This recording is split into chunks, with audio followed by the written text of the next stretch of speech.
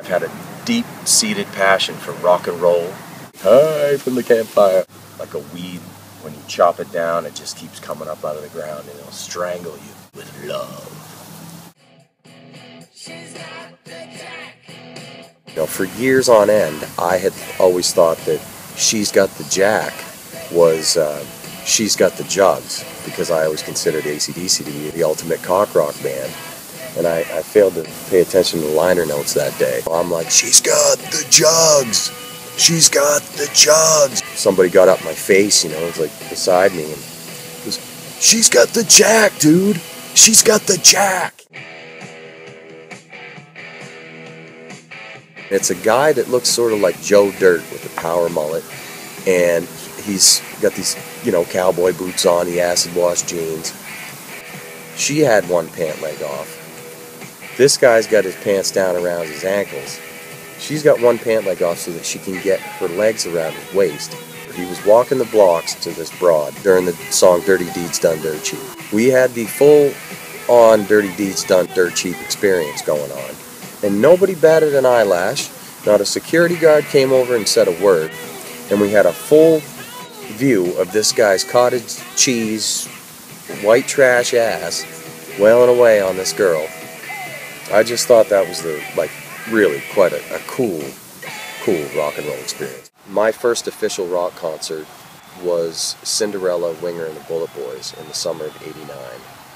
It made a lasting impression on me and inspired the hell out of me. To this day, I have a strong admiration for all of those musicians. The sign of the times and what they evoked. It was the complete tailgate party, beach balls flying everywhere, bleach blonde, bubblegum bullshit with wave pools at Aquaboggan, juicy boobies hanging out of neon colored fluorescent pink and leopard bikinis. And it was just a great, great time.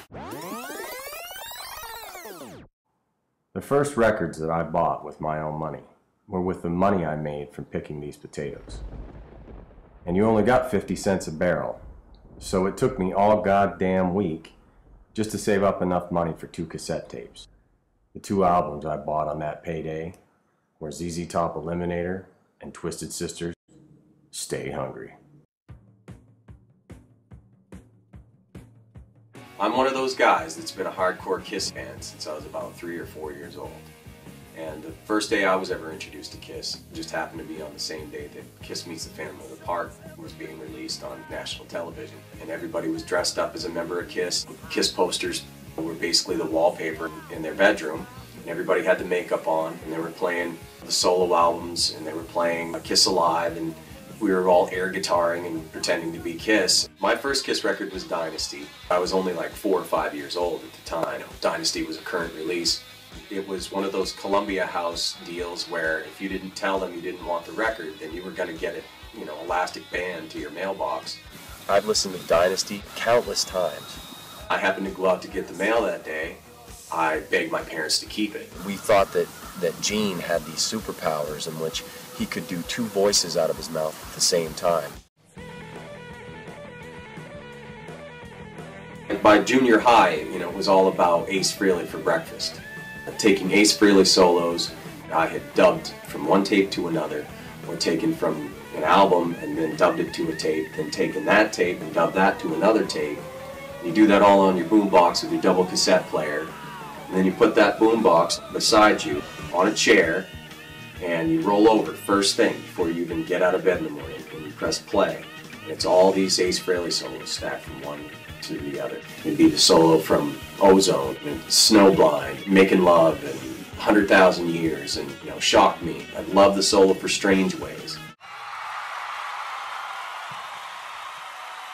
It, it burrowed like a hole through my brain was was this show in Nashua, New Hampshire with Ace Frehley and his solo band in 1995. High energy, high heat, uncomfortable, claustrophobic rock and roll.